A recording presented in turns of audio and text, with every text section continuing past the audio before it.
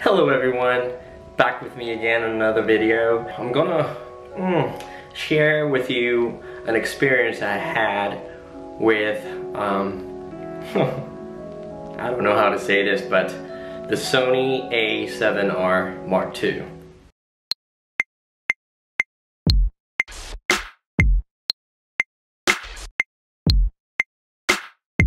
So, um, last weekend, I got a DM from my friend. He's living in Perth. He and his family came back to Indonesia, uh, to Jakarta specifically, to uh, meet some of his relatives. So during that time, he contacted me through Instagram message and asked me whether I can meet up with him. And I said, totally, why not? He's also a uh, videography guy.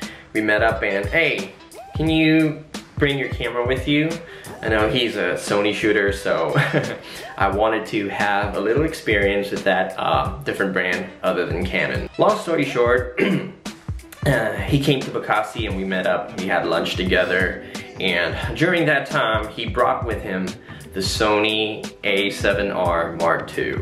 Well, at first, I didn't really like Sony's color science, but um, well, I figured why not give it a try, right? So during our meetup, I asked my friend, dude, can I just borrow your camera and play around with it? While he was talking with my wife and my daughter, uh, I managed to take a couple of uh, shots, I mean footages, and I turned out liking it. I know the color isn't as good as Canon, in my uh, personal opinion.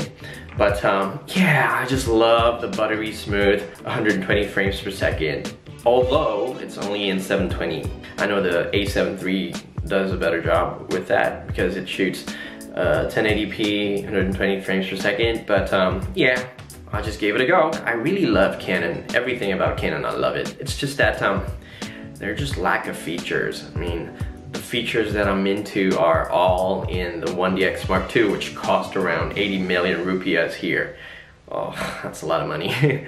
Unless I do this for a living. Well, I'm not doing this for a living, so I don't need a 70 million rupiah camera, right? I'm really influenced by, um, I watch a lot of Peter McKinnon and Daniel Schiffer. They are awesome, so if you don't know them, just type in on YouTube Peter McKinnon or Daniel Schiffer. I learn a lot from them. Thank you.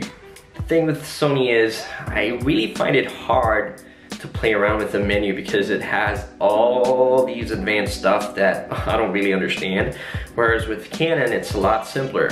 Well, that's my opinion. So I'm going to end this video with uh, footage that I've edited this morning, uh, taken with the Alpha 7R Mark II. And I only did a little bit of color grading to it. Yeah, let's check out the video. And I'm going to end the video right now.